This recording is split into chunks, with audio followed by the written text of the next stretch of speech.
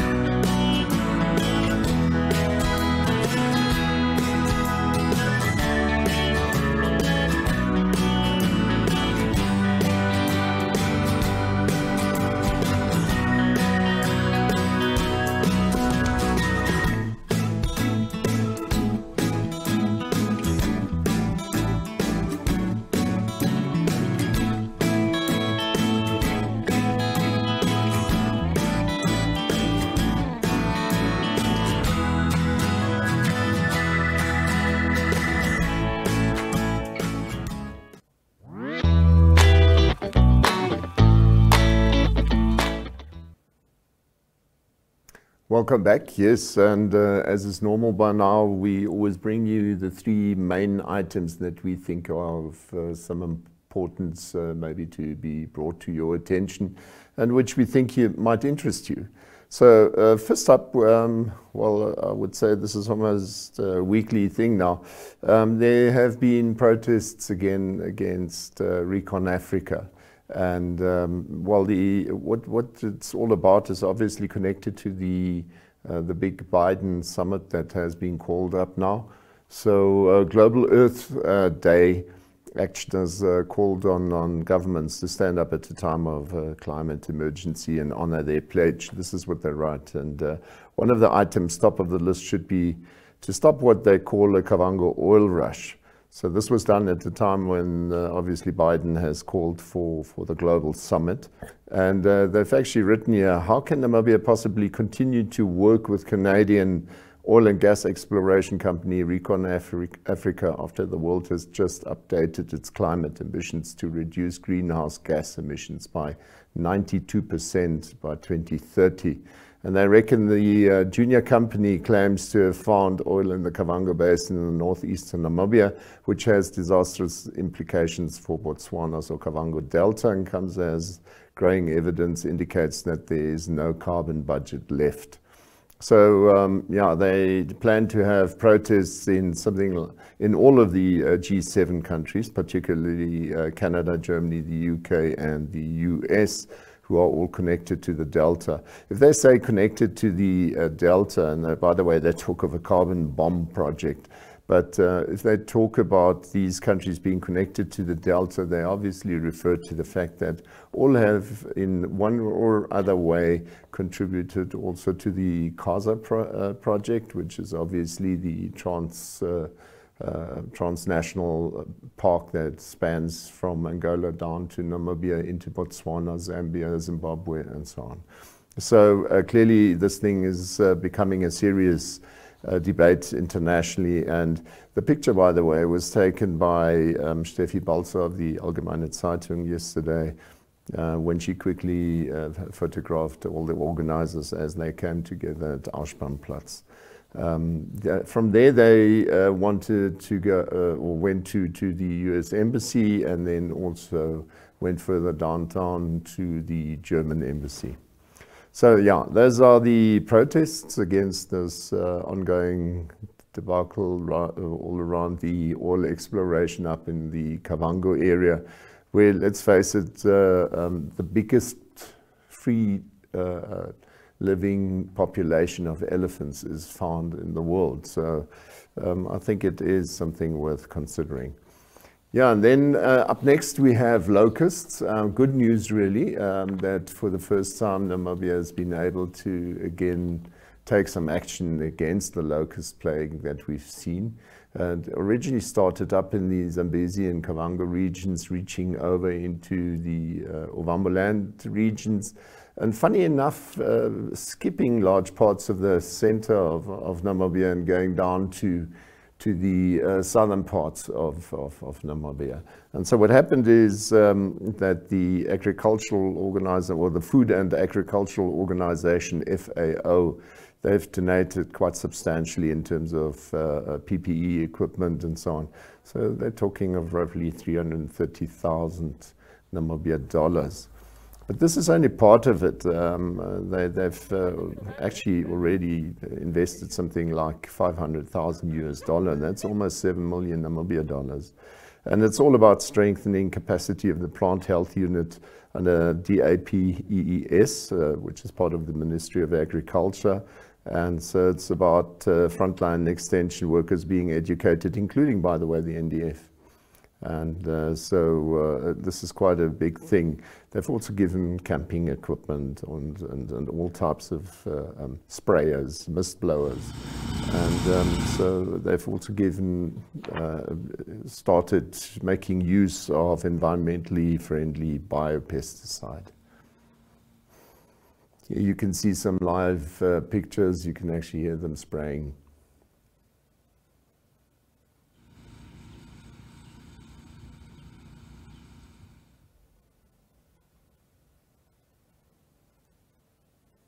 and this was the end result, hopefully all over Namibia. And uh, by the way, it was, it was quite an important announcement earlier in the week where uh, the Ministry of Agriculture specifically asked people not to eat uh, these locusts.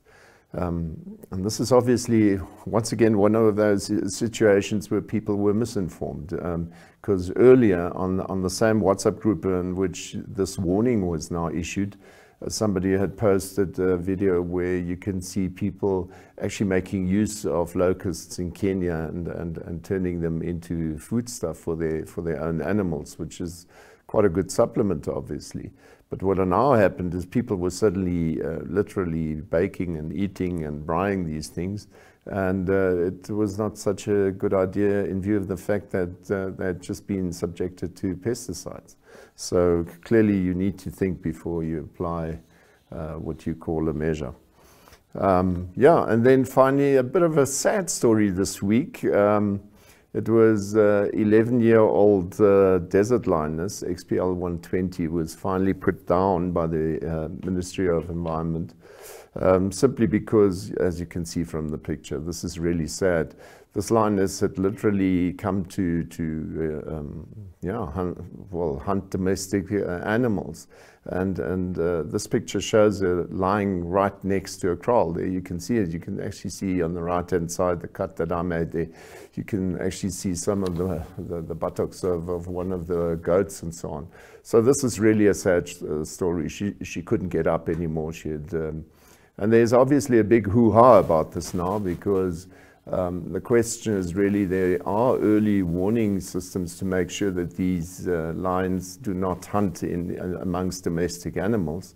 But what has also happened, and the accusation is made that um, the, the, the, conservation uh, allowance in terms of shooting away uh, um, uh, buck and ant antelope, which really is uh, food for these lions, desert lions or desert adapted lions, one should say, um, there's a situation now where there's simply not enough food left. So it, it clearly needs to be done. Uh, the Ministry of Environment and, and, Forestry and Tourism has now uh, issued a notice saying that they will certainly concentrate on finalizing a, a new management plan because they obviously sit between a rock and a hard place now. Um, they've, they've tried to cater for, for obviously natural occurrence of lions in the north, uh, northwestern, uh, northwest areas of Namibia. And then on the other hand, they have tried to get people to to, uh, to earn a sustainable living from these conservation efforts. Um, so the Conservancy obviously will also hunt and have hunters and, and what else. Uh, but now, where's that balance? Because on the other hand, you've got desert adapted line, and it's been pointed out so often, as, as, as nice as it is, and there's a bit of um, all of us lo love these lines. I mean, it's just what it is. But now suddenly you start understanding that when push comes to shove, this is not really their area. This is not where they normally live. So if uh, um, people still go and hunt, and you quickly reach a situation where there's not uh, sufficient, uh, um, yeah, not as, uh, sufficient wildlife to to to carry humans and wildlife like the lions. So this is going to still have a big impact because on the other hand, you don't want to feed uh, these lions. So let's see where it goes. I hope this management plan is really getting off very fast now because they're literally uh, considering even taking these lines to another area just for the time being so that they can at least survive. So let's see what comes up. We'll certainly keep you posted. Those were our topics for this week. Up next, destinations.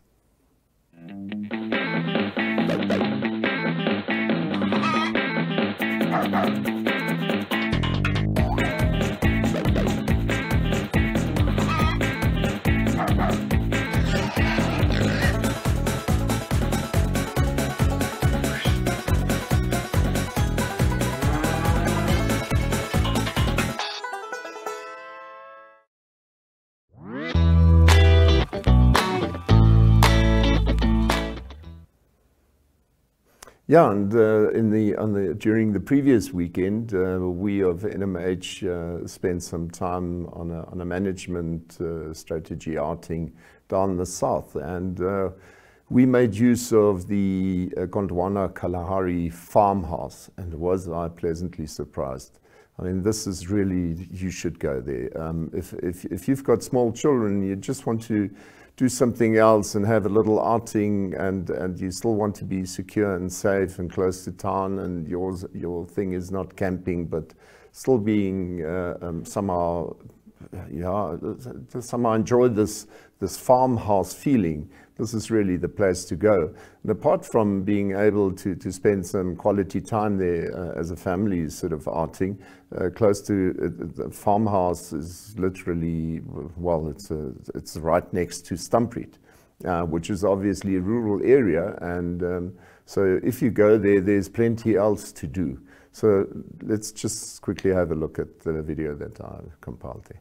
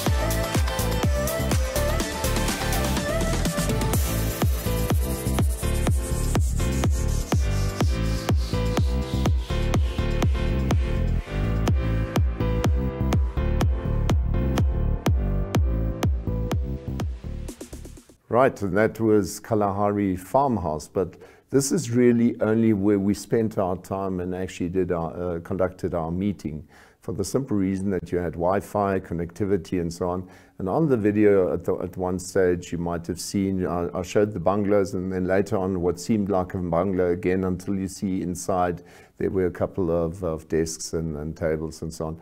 And this was a, a fully equipped conference, little conference center, which we were able to make use of. Really very efficient, very functional. And so what we did in the evening, we uh, we, we just drove, I think it's something like 25 ki uh, kilometers over to Anneblotch, which is really in, in the middle between Marienthal and uh, uh. And that's where we, uh, where we spent the night. So just have a look at the video there.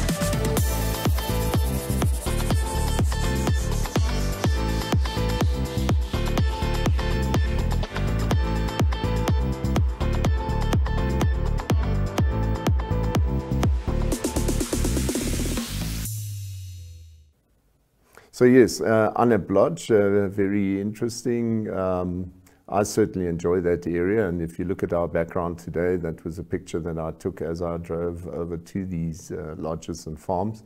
Uh, typically Kalahari red sand, so really just what your heart desires. And, and what's so nice at this stage, I mean, obviously it's not as green anymore now that we approach uh, winter.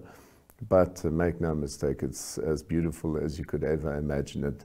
I mean, the South is just beautiful in its own right, simply same as anything else we have in this country. So, right, see what we bring you next week, but up next, we've got to the point.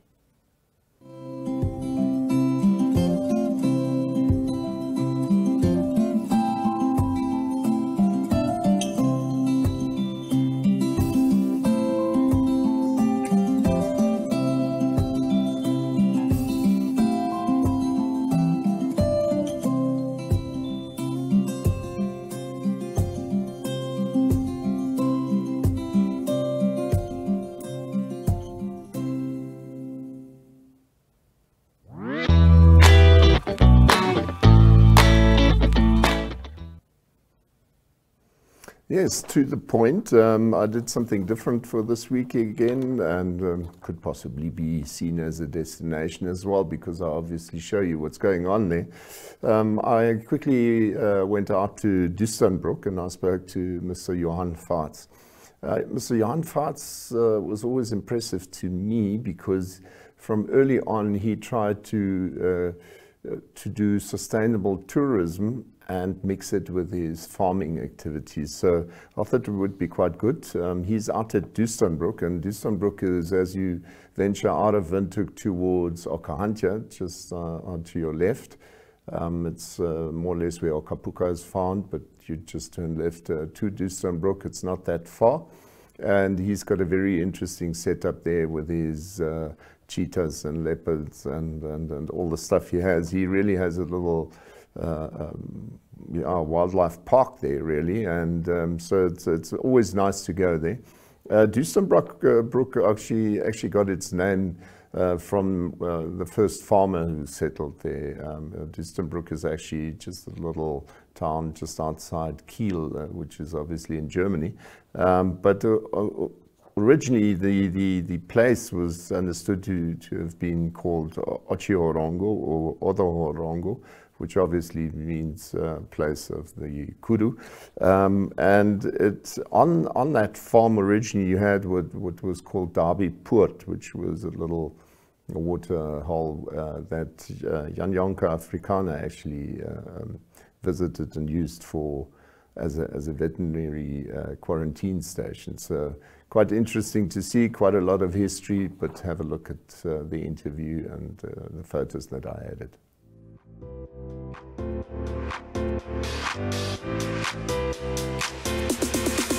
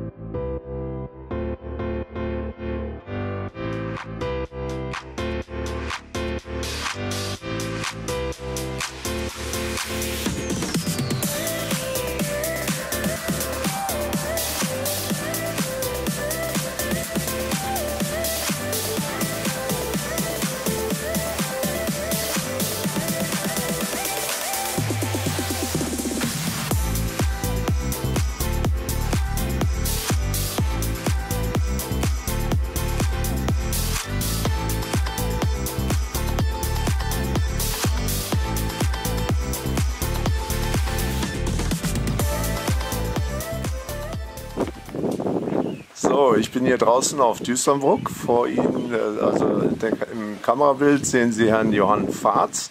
Äh, ich hatte ihn gestern einfach kurz angerufen und wollte mich mal kurz mit ihm unterhalten. Willkommen auf der Show. Dankeschön. Ja, Herr Fahrz, erzählen Sie uns so ein bisschen. Äh, wir haben uns jetzt vorher so ein bisschen unterhalten, aber vielleicht erzählen Sie unseren Zuhörern nochmal. Wie, wie ging es denn jetzt so? Wo, wo kommt diese Düsternbruck Farm her? Wie hat die sich entwickelt und wie hat sie Covid überlebt? Na, ursprünglich ähm, ist die Farm gegründet worden von einem äh, Kapitänleutnant AD, einem Herr Mattissen. Und deswegen heißt es auch Düsterbrook, weil er kommt von einem Vorort von Kiel, wo angeblich die Seeprominenz gewohnt hat. Und danach hat er die Farm genannt. Und vorher war, hieß die Farm Ochihorongo, das heißt der Platz des Kudus. Und ich habe noch Briefe oder Karten, wo er nach Hause geschrieben hat mit Ochihorongo und dann ein Jahr oder zwei später stand dann oben bei der Adresse oder beim, beim Datum Düsterburg. Also Aha, in der da Zeit muss der Namenswechsel stattgefunden haben. Dann äh, haben meine Eltern, kam die Farm auf den Markt 1942 während des Krieges. Oh, okay. Und da haben meine Eltern die Farm gekauft, oder meine Großmutter mutterseits, und haben sie erstmal liegen lassen, weil während des Krieges konnte man ja auch nicht viel machen. Und nach dem Krieg 49 sind meine Eltern hierher gezogen. Die elterliche Farm von meiner Mutter ist hier die Nachbarfarm Godeis. Und dann sind sie, waren sie erst nach, mein Vater war ja sechs Jahre interniert, und dann sind sie hier runtergezogen und haben hier angefangen ja. zu fahren. Heißt das also, damals hat die, äh, Ihre Mutter noch äh, regelrecht da alleine gefarmt anfangs? Während des Krieges hat meine Mutter alleine gefarmt. Es gibt ja. ja viele Farmersfrau, die während des Krieges alleine gefarmt haben. Genau. Und ähm, ja, die haben müssen schon einiges können. durchgemacht im Krieg Ja, da, alleine ja. die Farm zu managen. So, weil es kam ja auch quasi über Nacht. Ja, ja. Und hier war es dann anfangs der Rinderfarm. Und hier war es anfangs eine Rinderfarm und dann kam ja diese Trockenheit 1960, 61 und Mount Clown-Seuche. Und dann haben meine Eltern überlegt, was können sie denn machen? Und fingen an mit der ersten Gästefarm, eigentlich mit einer Kindergästefarm. Weil die Frage hieß, was machen berufstätige Mütter mit ihren Kindern in den Ferien? Ja, ja. Und so hatten wir in den Ferien hier immer sehr, sehr viele Kinder, die meine Mutter entertaint hat, die haben hier schwimmen gelernt, die haben Spiele gespielt und so weiter und so weiter. Aber es war halt begrenzt auf die Ferien. Und dann ist meine Mutter nach Europa gegangen und in den europäischen Markt. Und so kamen dann die ersten Gäste hier so ab 1961, 1962. Doch schon so früh? Ja, ja. Naja. Und dann war ja auch, ähm, war ja auch so, damals war ja noch das, das Topfrecht, wo jeder Beamte hier in Namibia irgendwo jagen durfte. Und das ist meinen Eltern auch gegen den Strich gegangen. Meine Mutter sagte, wir pflegen ganze Jahr das Wild. Und dann kann irgendeiner kommen vom Staat und sagen, ja, wir kommen heute, wir möchten jetzt mal einen Kudu schießen. Und wenn dann zwei auf dem Auto lagen, durfte man auch nichts sagen. Also das war auch, fand sie ein ungesundes Verhältnis und hat sich dafür eingesetzt, dass das geändert wird. Und so waren wir also die erste Gäste- und Jagdfarm in Namibia. Und dann wurde mit langen Verhandlungen wurde 1968 das Gesetz geändert, dass der Farmer das Wild selber nutzen darf. Und damit hat dieses Pottrecht aufgehört und damit fing eigentlich ähm, die Trophäenjacht an. So Unternehmen wie Anwo und so weiter, die kamen alle dann Genau. danach hoch. Und äh, dann ist das also erst so in die Höhe gegangen, sodass der Jagdtourismus dann auch sehr zugenommen hat. Zum großen, großen Vorteil von Namibia. Da gibt es gar keine Frage heute. Ja, das, das war die Zeit, wo dann Naffa auch. In, in, Genau, NAFO wurde dann später, weil immer mehr Mitglieder kamen dann, oder immer mehr Leute haben das gemacht. Und dann war es eben auch Zeit, dass man einen Verband gründet. Das war dann, glaube ich, 72 oder 73 oder 74 wurde der Verband gegründet und so weiter. Aber die ganze Vorstufe, das hat hier stattgefunden. Es waren ja, ähm, Leute haben sich ja darüber geärgert und die haben dann einen Karnevalswagen gegen meine Mutter gemacht. Ja, ja, und da hieß dann, dann haben sie noch den Namen Fahrt eigentlich ganz ähm, innovativ umgewandelt. Es ist zum beinahe- Fahrt zweifeln und, äh, und dann die Küche kritisiert, die Kost, meine Mutter hieß Mager mit Vornamen, die Kost ist mager und da hatten sie einen Lastwagen mit so Sand und so ein, so ein äh, Skelett, also das war eine Empörung, dass man plötzlich für das Wild, für das Abschießen vom Wild Geld verlangen sollte. Was Aha. heute gang und gäbe ist und keiner denkt da mal drüber nach. Aber das waren die Anfangsschwierigkeiten, die man da durchgemacht hat, bis das dann äh, äh, ähm, normal, ganz normal wurde, ja. Ja. Und Sie selber sind jetzt seit wie vielen Jahren auf der Ja, Farm? ich habe das halt seit Kind alles mitgekriegt und ähm, war dann, bin dann 71 nach Deutschland zur Ausbildung. Okay, und, danach, gleich danach auf die Farm. Nö, ich habe insgesamt danach auf der Farm, ja. Ich habe insgesamt in zwölf Jahren in Europa gelebt. Okay. Ja, und dann bin ich zurückgekommen. Ja. Und dann, wir unterhielten uns vorhin. Anfangs haben Sie noch die, die Rinder mitgemacht und dann haben Sie das aber auch abgestoßen. Genau, am Anfang habe ich erst für meine Eltern gearbeitet als Verwalter. Und ähm, dann habe ich ab 86 die Farm gepachtet. Und dann habe ich so gesehen, also meine Mutter hatte die Gästefarm betrieben bis 1972 und dann wieder aufgehört. Und ähm, weil ich das so als Kind aber in Erinnerung hatte, dachte ich, ist vielleicht gar nicht so schlecht, habe das so dann so beobachtet und habe dann wieder langsam angefangen mit Tagesbesucher. Und später habe ich dann wieder Gästezimmer ähm, aktiviert und, und weiter ausgebaut. Okay. Und dann, äh, dann wurde es mit den Rindern dann halt immer weniger, oder wie? Genau, dann wurde es mit den Rindern, dachte ich, wann, also hier die Rinderfarm und die Gästefarm, man merkt, die Gästefarm hat dann angezogen. Ähm, und dann dachte ich, boah, beides zu machen, ist, äh, da leidet dann die Qualität. Entweder leidet die Rinderzucht oder die Gästefarm leidet. Ja. Und dann habe ich mir überlegt, äh, nachdem es immer mehr angezogen hat, sagte ich, okay, ich kann eigentlich auch ohne Rinder leben. Und habe dann angefangen, 96 habe ich dann alle Rinder verkauft quasi. Bis auf einen kleinen Teil der übrigen. Oh, Ja, ja. Und dann, naja, das ist ja jetzt auch dann einige Jahre schon. Und all die Jahre in Tourismusbetrieb Ja, und dann, kam die peu Bombe. peu habe ich halt hier ähm, mal einen ganz kleinen Wildkamm gemacht und ein bisschen Wild eingekauft. Also es waren nur so 300 Hektar Und dann habe ich wieder Zimmer ausgebaut und dann wieder ein bisschen mehr Wild eingekauft, dann den Wildkampf wieder ein bisschen vergrößert. So peu à peu habe ich mich da hochgearbeitet, sagen wir mal so. So dass heute ist also die komplette Farm wildsicher eingezäunt. Und ja. ich habe hier Wild eingebürgert. Und jetzt bin ich, kann ich sagen, quasi eine Game Farm oder ich sage mir eine Gästefarm. Und unsere ganzen Aktivitäten sind ähm, wildtierorientiert, wildlife-based. Ja. ja, aber Sie sagten ja dann auch, dass Sie versuchen, für alle einen Platz zu schaffen. Also das ist wirklich von, von von Edelhotel bis runter zum, zum Camping. Ja, genau. Also ich dachte mir, der Markt, den wir haben oder die Leute, die nach Namibia kommen, äh, ähm, sie haben von bis, wissen Sie, wenn sie eine Familie zum Beispiel kann sich nicht das gleiche leisten, so ein Luxuszimmer, die nimmt lieber ein Familienzimmer, die will das ein bisschen ja. günstiger haben, weil wenn sie dann mit zwei oder drei Kids kommen, das kostet Flugpreise und so weiter und so weiter, dann kann man da lieber was günstigeres anbieten. Das Dinner ist natürlich für alle gleich.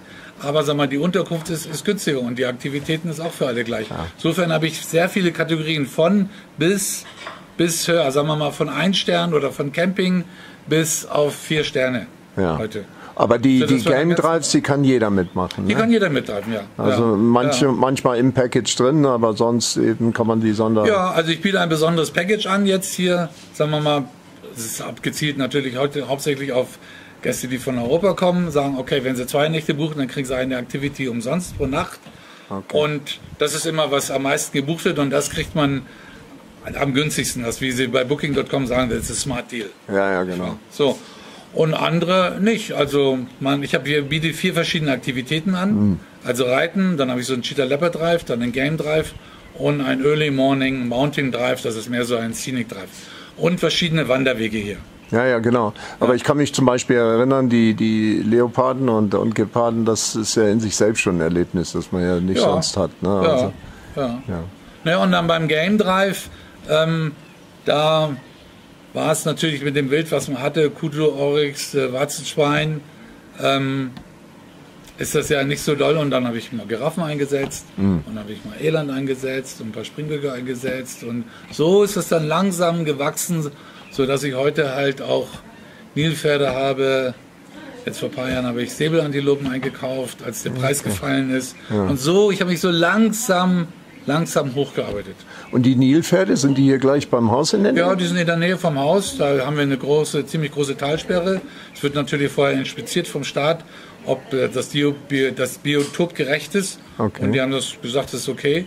okay. Und die sind jetzt da drin und genießen das gut. Ja, denen gefällt es gut, da vermehren sich auch gut. ja. nee, gut. Naja, da, da ist es also, man kann ja einiges unternehmen. Das ja, ist so, auf ne? jeden Fall. Denn äh, wenn, wenn man jetzt, äh, also äh, ich, ich gucke ja jetzt Herrn Fahrz an und wenn man dahinter runtergehen würde, dann wird man im Grunde unten aufs Revier stoßen. Ganz genau. Und, und das, das ist ja eine Revier, was von Winter kommt, wo das Kleinwinduger Revier auch reinfließt, das fließt dann letztlich in den Zwockerporter. Ja, das ist im Prinzip eine Verlängerung des Gammams, ne? Bitte? Im Prinzip Verlängerung des Gammams kommt ja, über. Ja, und das Kleinwiederer Revier ja, auch. Genau. Ja, ja, ja, ja. Also äh, man kann sagen, alles, was östlich aus dem Kummers Hochland rausfließt, kommt hier rein. Und fließt das dann bis, bis runter zum Swakop, richtig? Genau, in der Nähe von Großbahn ja, fließt genau. in Swakop und ja. dann in Swakop-Potsdam. Ja. Und der Swakop-Potsdam, der speist ja immerhin Windhoek mit 30 Prozent vom Wasser. Ja, genau. Und äh, sagen Sie schnell, Covid, wie hat Sie das äh, affektiert? Geht es noch oder ähm, haben Sie da Gutes auch erlebt drin? Naja, ich bin halt äh, nicht so ein Pessimist, sondern ich sehe immer auch äh, Vorteile da drin. Und ich habe dann als es dann Anfang April schnell ruhig wurde, bis Ende März lief es ja noch ja. volle Pulle, kann man sagen. Und Anfang April wurde es ruhig. Dann habe ich gesagt, okay, ich habe nie im Jahr eine Pause gemacht. Und jetzt habe ich eine Zwangspause und jetzt werde ich mal die Sachen machen, die immer liegen geblieben sind. Also habe ich die Prioritäten umgedreht, habe ich gesagt, so alles, was liegen geblieben ist, Priorität 1. Und habe hier einfach kräftig aufgeräumt. Ja, und das bringt ja auch was. Ja, und dann habe ich hier mein Personal, mein, ich habe ja sehr viele Damen hier im Tourismusbetrieb, von der Küche und Zimmer, äh, äh, sauber, ähm, Zimmer, Zimmermädchen. Die habe ich alle umfunktioniert in ein kleines Renovierungsteam. Habe gesagt, wenn ihr in der Lage seid, die, Mini, die Motorik beherrscht, einen Fingernagel schön säuberlich anzumalen, kann man auch einen Fensterrahmen schön säuberlich malen. So haben wir die Fensterrahmen, Türen, alles abgeschliffen und neu gestrichen. Dann habe ich hier einen neuen Parkplatz gebaut. Das hätte ich während im normalen Tourismusbetrieb nicht machen können, weil hier ein Trecker dann sieben oder acht Mal ja, durch den genau. Hof gefahren ist. Habe dann da einen Bauschutt-Haufen der da war, den weggefahren und da vergraben. Und so habe ich versucht, diese Vorteile zu nutzen, die einem so eine Zeit bietet. Ja, ja. Klar ist das Gesparte geschmolzen. Also ich sage ja, die Gemeinsamkeit von Corona und CO2 ist, CO2 schmilzt die Pole und Corona schmilzt das Gesparte. ja, nee, da ist schon was dran. Aber es, es, es fängt jetzt wieder an, zieht an. Ja, seit Oktober, äh, seit Oktober, seit äh, die Leute wieder in Deutschland reisen können, zieht es ein bisschen an. Und ich habe dann auch äh, Discounts angeboten, bis zu 40 Prozent.